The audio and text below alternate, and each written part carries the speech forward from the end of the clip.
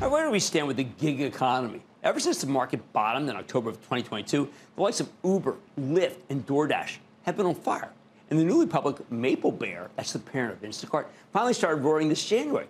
But then the market cooled on growth stocks in March and April, and these gig economy names pulled back from their highs, pulled back dramatically, actually. All of a sudden, these companies had a lot to prove with their first quarter reports. And now that we've heard from them, I want to give you an update on the gig economy, starting with the rideshare plays and then going over to the delivery services after the break.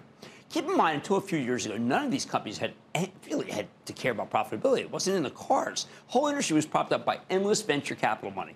Endless because the Fed kept interest rates so low for so long that it was insanely cheap for these companies to borrow money.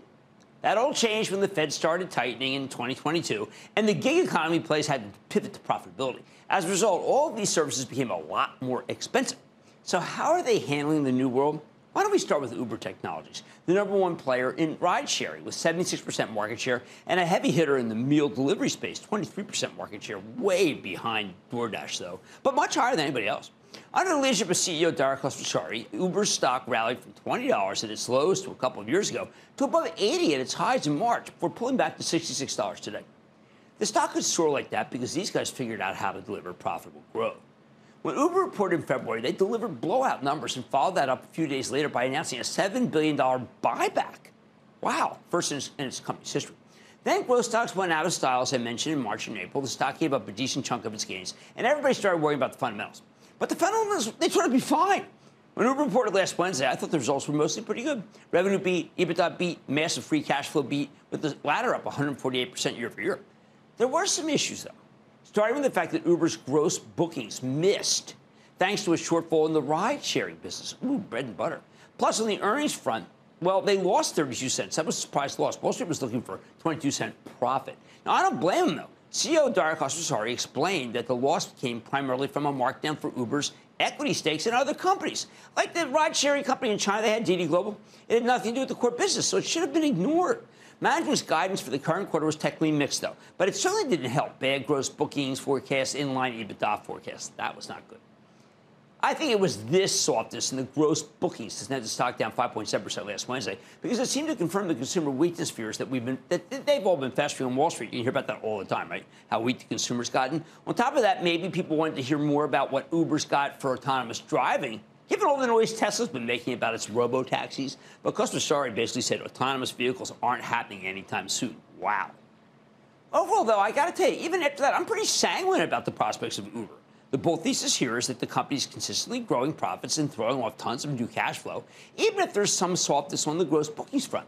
In the end, I'm viewing this post first quarter shakeout as an appropriate reset of expectations. Plus, even after Uber's pulled back to the 60s, the stock remains up more than 7% year to date. And hey, this sell off also gives management a chance to put that big buyback to work. You got my blessing to buy it because the company will be buying along, right alongside you. I really like the stock here. As for Lyft, LYFT, the underdog in ride sharing space, well, you know what? They had another solid quarter under newest CEO David Risher when they reported last Tuesday night the night before we heard from Uber. And you remember David, he's been on the show a bunch of times. In fact, Uber's gross bookings miss looms so large precisely because Lyft's gross bookings beat expectations. Looks like they're finally on a more competitive footing. Lyft's gross bookings growth matched Uber's in the first quarter, and Lyft's guidance for second quarter bookings implies they'll match Uber yet again. In the old days, Lyft seemed to be steadily losing share to Uber. It now basically seems to be holding steady, which is an extremely positive development.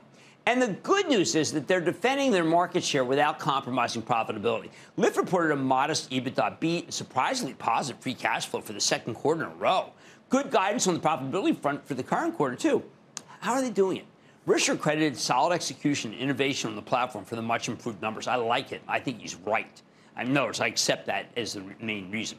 As for its full year forecast, Lyft mostly confirmed its previous outlook, except they raised their free cash flow guidance pretty substantially. That's exactly what you want to see. But the takeaway is that Lyft continued to make progress towards the goal of becoming a profitable growth story, which is what Risher's been aiming for since he took the reins about a year ago. The results were uh, were good enough to send the stock up 7.1% last Wednesday, though Lyft has given back some of that gain since then. I have been really impressed with what Risher's done in his first year of the job, and the stock definitely deserved to rally in response to the strong quarter, especially since it looks like Lyft has stemmed the share loss to Uber and done so without compromising profitability. I bet the stock can work higher as long as those narrative remains in place. In fact, as long as Risher continues to turn things around, I actually wouldn't be surprised. if Lyft even became a takeover target if the stock stays down here while the big turn comes. After all, it's the smallest of the major gig economy stocks with a sub $7 billion market cap. So the bottom line for the two major ride sharing companies is that both reported solid quarters, even if Lyft's was well received while Uber's was hated.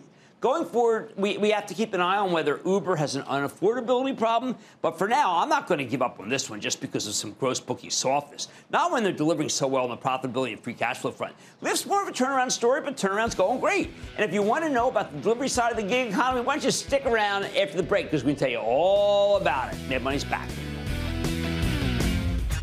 Coming up, Cramer continues his look at the gig economy, where to invest in the new age of work. Next. Don't miss a second of Mad Money. Follow at Jim Cramer on X. Have a question? Tweet Cramer. Hashtag Mad Mentions. Send Jim an email to madmoney at cnbc.com or give us a call at 1 800 743 CNBC. Miss something? Head to madmoney.cnbc.com.